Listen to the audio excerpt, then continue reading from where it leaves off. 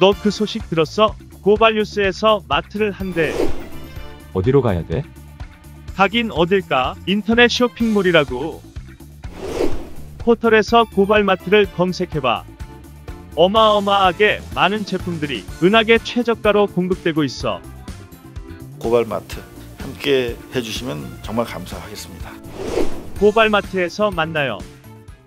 박원순 서울시장 사망과 고소 사건 이후 언론들이 정파적 논리로 서지현 검사에 대해 화상 공세를 퍼부은 가운데 서 검사가 평소 여성 인권에 그 어떤 관심도 없던 이들이라며 언론에 일침을 가했다. 다수 언론은 그동안 왜 말을 안 하냐며 서지현 검사의 침묵을 공격해왔다. 11일 국민일보의 서지현 검사는 왜 박원순 고소자의 침묵하나 목소리 나와라는 기사 13일 조선일보의 성범죄 엄벌 추미애와 미투 촉발한 서지현 검사 박원순엔 침묵 그리고 14일 한국경제 청와대 여가부 서지현 내편 미투의 모두 침묵 기사 등이 대표적이다.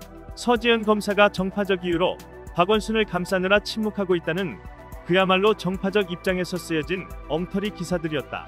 더 이상 견딜 수 없었던 서지은 검사가 힘겹게 입을 열었다. 서 검사는 13일 페이스북에 도져버린 공황장애를 추스르기 버거워 저는 여전히 한마디도 하기 어렵다. 한마디도 할 수 없는 패북은 떠나 있겠다. 민주당 운운하시는데 저는 정치와 아무 관련이 없고 그곳에도 여전히 저를 정신병자라고 믿고 계신 분들이 매우 많다는 것을 아실 리 없겠저라며 정파적 시선과 선을 그었다. 하지만 비난이 끊이질 않았다. 여성 정치인마저 가세한 것이다. 미래통합당 조수진 의원은 14일 공황장애가 도저 한마디도 어렵다는 미투 상징이라는 제목의 글에서 서 검사를 향해 박 시장을 고소한 전직 비서의 심경에 가장 공감할 만한 사람이 서 검사가 아니냐라며 아쉬움이 크다고 한 뒤 다음과 같은 독가스를 뿜었다. 성폭력 여성 피해자와 같은 특정 사안에 한마디도 하기 어렵다는 법무부 양성평등 정책 특별자문관이면 건강 관리에만 전념하는 것이 자신과 국민을 위해 올바른 길이 아닐까. 공황장애를 앓는 모든 환자들은 직장을 관둬야 한다는 상상 이상의 폭언이었다. 언론과 정치권 심지어 여성들조차 진영 논리를 들이대며 성폭력 피해자인 서지현 검사를 향한 2차 가해에 동참하고 있었다. 건강 때문에 휴가를 보내고 복귀한 서 검사에게 발언 요구는 계속됐다. 27일 서지현 검사는 다시 힘겹게 입을 열어 사이다 발언을 날렸다.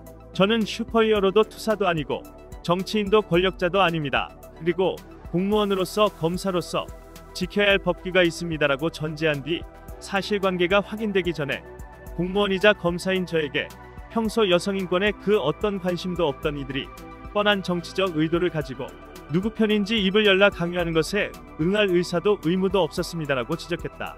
그리고 여성인권과 피해자 보호를 이야기하면서 저처럼 이미 입을 연 피해자는 죽을 때까지 괴롭혀주겠다는 의지를 확연히 보여주는 이들의 조롱과 욕설은 무엇을 의미하는 것일까요? 이 아수라가 지나고 나면 더 좋은 세상을 향해 한 걸음 나아가 있기를 간절히 바랍니다라고 덧붙였다.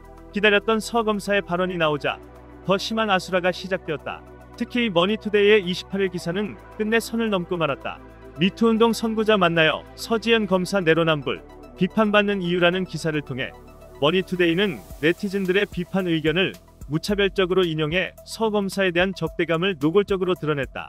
증거도 없이 아직 확인되지 않은 고소 내용을 근거로 죽은 자는 물론 이전의 미투 피해자를 사냥하는 언론이 바로 아수라다. 언어폭력의 배후에는 정파적 기회가 도사리고 있다. 적폐청산을 포기할 수 없는 이유다. 이상 뉴스 검색이었습니다. 구독과 좋아요 부탁드립니다.